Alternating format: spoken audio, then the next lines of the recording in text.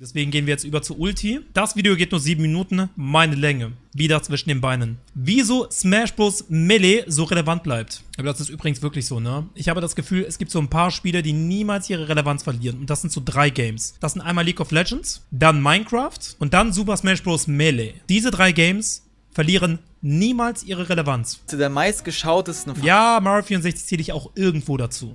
Fighting Games geht, findet man stets ein Spiel auf Platz 1, nämlich Super Smash Bros. Melee. Alle anderen Spiele aus der Top 10 sind im Jahre 2014 oder später rausgekommen, aber Melee... Das finde ich halt krass, ne? Melee immer noch auf der 1.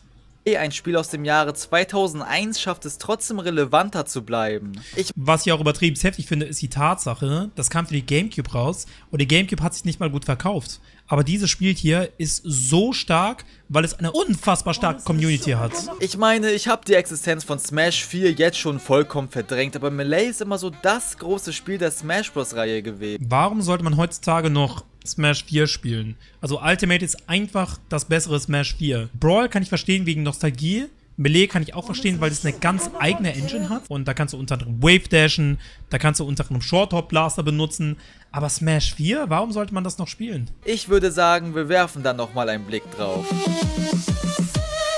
Ba -da -ba -da -ba -ba wo das allererste Smash Bros. für Nintendo 64 im Jahre 1999 rausgekommen ist, wurde zwei Jahre später direkt der Nachfolger für den Gamecube rausgeballert. Zwei Jahre ist echt keine lange Zeit dafür, wie viel in diesem Spiel neu dazugekommen ist, vom Content her, aber auch rein vom Gameplay. Allein das Character Roster hat sich stark vergrößert. es gibt die Diskussion, heißt es Melee, also mit I ausgesprochen, oder Melee?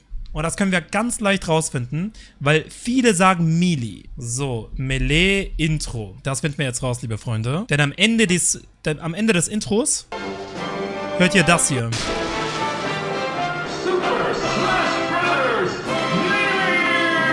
Das heißt Melee. Die Sache ist, das war wichtig, weil es gibt extrem viele Leute, extrem viele Leute, die sich über andere Leute lustig machen, weil sie Melee sagen. Das heißt Melee, nicht Melee, nicht Melee und auch nicht Melee. Das heißt Melee. So feiern für die Serie legendäre Charaktere wie Mr. Game Watch oder Marv hier ihren ersten Auftritt. Wenn man sich das Roster anguckt, muss man aber auch bedenken, dass das Spiel wie gesagt in nur zwei Jahren rauskommen musste und hier dementsprechend nicht die heftigste Variation an Movesets erschaffen werden konnte. Genau genommen sind viele Kämpfer hier einfach Klone von anderen. Manche ergeben Sinn und sind wirklich coole Kämpfer wie Marv und Roy, Pikachu und Pichu oder Fox und Falco. Sowas wie Dr. Mario finde ich persönlich dann aber doch sehr random. Aber naja, dem einen Dr. Gut, aber dazu muss man sagen, das Spiel wurde halt in einem Jahr entwickelt oder so. Also es kam zwar zwei Jahre später raus, aber soweit ich weiß, wurde es wirklich irgendwie in einem Jahr oder unter einem Jahr entwickelt. Weil die kamen zu Sakura und haben gesagt, ey, mach ganz schnell einen neuen Teil und du hast acht Monate oder ich weiß nicht mehr genau wie viel Zeit. Aber es war ganz, ganz, ganz, ganz wenig. Ich sehr glücklich gemacht, ihn hier zu sehen. Ein Kritikpunkt meinerseits am N64-Spiel war ja, dass es hier im Einzelspieler nicht so viel zu tun gab und oh Junge, das wurde in Melee auf jeden Fall gefixt. Alles in diesem Definitiv. Spiel zusammen dauert hier im Durchschnitt 157 Stunden, weil das Spiel vollgestopft mit Sachen ist, die man freischalten kann. Zum Beispiel muss man für Mr. Game Watch 1000 Versus-Matches spielen oder den Classic Mode mit jedem Charakter schaffen. Immerhin kehrt mal, der Classic Mode hier zurück, indem man nach also ich weiß auf jeden Fall, dass jeden Charakter hatte, aber dass man so viel für äh, Game Watch tun musste, habe ich gar nicht mehr in Erinnerung. Nach Kämpfe Crazy. bestreiten muss, aber Sag neu sind hier der Adventure Mode und der All-Star Mode. Der All-Star Mode ist relativ simpel. Man muss jeden Kämpfer aus dem Game besiegen und darf sich zwischen den Fights nur insgesamt dreimal heilen. Der Adventure Mode macht hier etwas, was es zuvor noch nie in einem Smash Bros. Teil Das stimmt. Ja, zuvor noch nie. Es gab nur einen zuvor. ja, aber der Adventure Mode war richtig cool. Der hat richtig Bock gemacht. Man muss zwischen den immer so kleine Platforming-Passagen schaffen, die vom Design her an den verschiedenen Spielereien, die hier in dem Game vertreten sind, angelehnt sind. Es ist natürlich nicht so heftig wie der Subraum aus Brawl später, aber ey, ich appreciate, dass es jetzt ein bisschen mehr Gameplay-Variation gibt. Abgesehen davon gibt es noch so Ey, Freunde, ich habe euch das schon erzählt, aber Super Smash Bros. Melee ist, ein, also ist der Grund, warum ich einen Game-Controller besitze, der Bissspuren hat. Ich habe mal so hart in einen Game Controller gebissen, dass man bis heute diese Bissspuren sieht. Es gab also es gab sogenannte Events bei dem Spiel und ich weiß nicht mehr genau, welches Event das war, aber die Zeit war insgesamt schneller. Du hattest nur 20 Sekunden bis 30, musstest über die Map laufen, ne? Das war die F-Zero Map. Und hinten kamen immer Autos, haben dich weggebumst. Und irgendwie hatte ich so viele Probleme mit dem Event, dass ich, keine Ahnung, 80 bis 100 Tries gebraucht, äh, gebraucht, gebraucht habe, bis ich das dann endlich geschafft habe. Ich schwöre, das hat mich so abgefuckt. Ich habe das damals mit 14 gespielt, ja, mit 14. Und ich war so wütend. Ich habe diesen Controller mehrmals gegen die Wand äh, geworfen. Er funktioniert noch. Und irgendwann habe ich diesen Controller genommen und so richtig, richtig reingebissen so.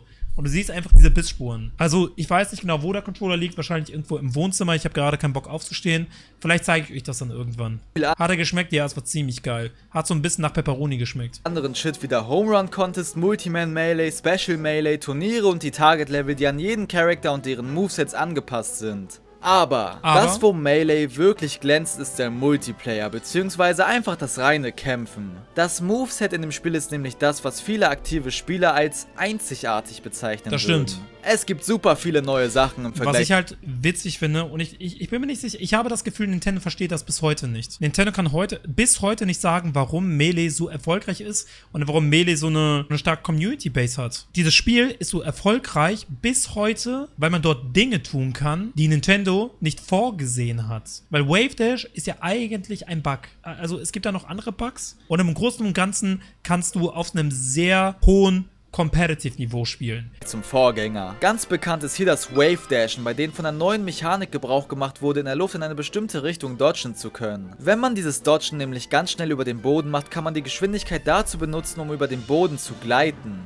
Ein weiteres Beispiel. Und das Interessante ist, Luigi äh, hat einen ganz besonderen Wave Dash. Der bewegt sich mit Wave Dash schneller, als wenn er läuft. Super interessant. wäre der Shuffle, was kurz für Short Hop Fast Fall L Cancel ist und ausschließlich in Melee existiert. Yo, mit diesem Trick kann man die Landungsanimation canceln, um so ein bisschen Zeit zu sparen. Darüber hinaus gibt es noch den Jump Cancelled Grab, bei dem man nach vorne dashen, den Sprungknopf drücken muss und kurz Yo, bevor die richtiges Competitive Tutorial Video hier. Sprunganimation losgeht, anfangen muss zu grabben, Grab-Animation nicht mehr so lang ist. Ihr seht, Augen. es gibt viele, viele sehr spezielle Moves, die man lernen kann, um das Spiel noch schneller zu machen, als es so schon ist. Und, John Talk, Und das vielen, waren nur ein paar Dank. Beispiele. Es gibt eine ganze Liste von Techniken. Viele dieser Moves wurden direkt nach Smash Bros. Melee wieder aus dem Moveset entfernt, weil es eben nicht die Weise ist, in der man das Spiel laut Nintendo spielen soll. Nintendo ist allgemein bekannt. Nintendo äh, war generell so ein bisschen dagegen, dass es Leute gab, die das Spiel auf die Art und Weise gespielt haben. Und das ist inzwischen nicht mehr so schlimm. Aber damals war Nintendo auch gegen Turniere und so. Ich, keine Ahnung. Nintendo ist allgemein bekannt dafür, Entscheidungen zu fällen, die sich aktiv gegen die Pro-Szene richten. Ist wirklich so. Ich schwöre, also ich kann nicht über das heutige Nintendo reden, aber damals hat Nintendo die Pro-Szene gehasst gefühlt. Die waren komplett gegen Turniere. Ja, dem war es super wichtig, dass man Smash auf einer Casual-Basis spielt. Und die haben das so weit getrieben, dass sie bei Super Smash Bros. Brawl, was dann für die Wii rauskam, einfach Stolpern eingeführt haben. Die haben Stolpern eingeführt, um das Ganze so ein bisschen aufzuhalten, dass Leute gut sind. Es ist so bescheuert. Unter anderem wurde Ende 2020 das große Smash Bros. Melee Turnier The Big House von Nintendo gecancelt. Für sie ist Smash Bros. eher ein Casual Game für die ganze Familie und so wurden nach Melee viele sehr spezifische Moves entfernt und alles wieder langsamer gemacht. Tatsächlich... Ja, das Game wurde einfach extra deswegen langsamer gemacht. Ist aber genau das der Grund, warum Melee so besonders für viele Fans ist. Das hat Man Nintendo muss reingrinden und das Movement mit den zahlreichen Möglichkeiten für sich entdecken und es wirklich auf Pro-Level spielen kann. Das hat aber auch dazu geführt, dass die Schere zwischen Pro und Casual wirklich sehr groß in dem Game ist. Wenn man neu in dem Spiel ist, kann es einem so vorkommen, als sei das Game von der Steuerung her sehr seltsam, weil man diese eben noch nicht beherrscht. Mhm. Ein Beispiel für eine anfangs ungewohnte Sache ist der sogenannte Buffer an Melee. Normalerweise ist es in Smash Bros. so, als wenn man in die Luft springt und in eine Richtung schlägt, man sogenannte Aerials ausführt und das ist auch in Melee so. Hier ist es aber so, dass man die Knöpfe ein wenig versetzt drücken muss, weil es in Melee keinen Buffer für die Inputs gibt. Im Klartext bedeutet das, dass man nicht mehrere Aktionen ah, gleichzeitig so ausführen komisch. kann, ohne dass eine davon Genau, also im Grunde muss man da ja so ein bisschen im Voraus Sachen drücken damit coole Sachen geschehen. Schluckt wird man deshalb erst springen und danach schlagen muss, um ein Aerial auszuführen. Das führt dazu, dass man seine Knopfdrücke wirklich timen muss, was neueren Spielen halt so vorkommen kann, als würde das Spiel nicht das machen, was man eigentlich will, eben weil man den Knopf vermutlich ein wenig zu früh gedrückt hat. Ein weiteres Problem könnte man mit den sogenannten Dashbacks haben. So nennt man den Zustand eines Charakters, der in eine Richtung guckt und sich dann sofort umdreht und in die andere Richtung mit voller Geschwindigkeit sprintet. Das macht man, um die Umdrehanimation zu skippen, aber ist hier auch wieder relativ relativ tricky. Es gibt auf dem Gamecube Analogstick drei Bereiche. Die neutrale Position, dann die, in denen der Charakter so ein bisschen geht und dann die, in dem er wirklich sprintet. Man muss mit seinem Stick vom Stehen in das Sprinten in nur einem Frame kommen, um ein Dashback auszuführen ein Frame. Das ist tatsächlich gar nicht mal so viel Zeit. Diese Dashbacks sind aber leider fucking wichtig, weil Pro-Player diese Umdrehanimation sofort ausnutzen werden, weil der Key in dem Game allgemein die Geschwindigkeit ist, die man aufbringen kann. Umso schlimmer ist es, dass manche Gamecube-Controller diesen einen Frame besser verarbeiten können als andere und es deshalb unter Umständen sogar Bei Smash 1, also bei der N64-Version, war das halt richtig schlimm, mit, ich habe jetzt den Begriff dafür vergessen, Hitstun war das. Und also der Hitstun bei Smash 1 für die N64 war tausendmal länger als bei den anderen Teilen und das konnte man so krass ausnutzen wirklich. Und dadurch bist du in richtige Combo-Fallen getappt. Und aus dieser Combo-Falle kamst, kamst, du auch nicht mehr raus. die Aptel-Chains. Die Aptel-Chains äh, N64, also es ist wirklich so, wenn du Kirby nimmst, geh zu einem Gegner, machen, äh, machen Uptilt und spammt, damit der, ich, ich schwöre euch, der Gegner kommt daraus nicht, äh, der, der kommt da nicht raus. Der kommt da einfach nicht, der, der, ist einfach paralysiert. Gut man Techniken wie Dashbacks ausführen kann. Was ich sagen will, dieses Spiel ist so viel tiefer als einfach nur dieses eine Fighting-Game ja, für den Gamecube. Und genau das ist es, was viele daran lieben. Falls euch der kompetitive Bereich dieses Spiels nicht interessiert und ihr einfach nur Spaß mit euren Freunden haben wollt, dann seid ihr eventuell bei anderen Teilen der Reihe besser dran. Wenn man diese ganzen Aspekte von Melee entfernt, bleibt nämlich nicht mehr viel, außer ein anfängerunfreundliches... Es ist auf jeden Fall anfängerunfreundlicher als andere Teile, das stimmt, aber ich glaube, das, was Smash Melee einfach so ausmacht, ist die Tatsache, dass man da wirklich, also um gut zu sein, musst du richtig reinhasteln. Du musst super viele Mechaniken lernen, Du musst Wave Dash beherrschen, du musst diese ganzen Cancel beherrschen, du musst, klar, das musst du bei anderen Teilen auch, aber nicht so exzessiv wie bei diesem Teil. Also wenn du hier auf einem hohen Level spielen willst, musst du wirklich, wirklich reingrinden, wirklich reingrinden ein viel zu schnelles Fighting-Game. Erst wenn man sich auf diese einzigartigen Sachen eingelassen hat, entfaltet das Spiel sein volles Potenzial. Persönliches Beispiel von mir wäre hier Mario 64, ein Spiel, zu dem ich 2018 noch das gesagt habe. Na, wir haben hier übrigens den Punkt erreicht, an dem 50% der Leute ein Dislike auf dieses Video geben werden, aber ich bin tatsächlich kein Fan von Super Mario 64. Die meisten mögen dieses Spiel wahrscheinlich einfach der Nostalgie wegen. Da ich aber ein 2000er Kind bin und keinen Kontakt mit Mario 64 in meiner Kindheit hatte, greift die Nostalgie bei mir nicht. Diese Meinung hat sich zum heutigen Zeitpunkt um 180 Grad gedreht. Das finde ich halt so krass, ne? Das sagte er damals und jetzt speedrunnt er dieses Game.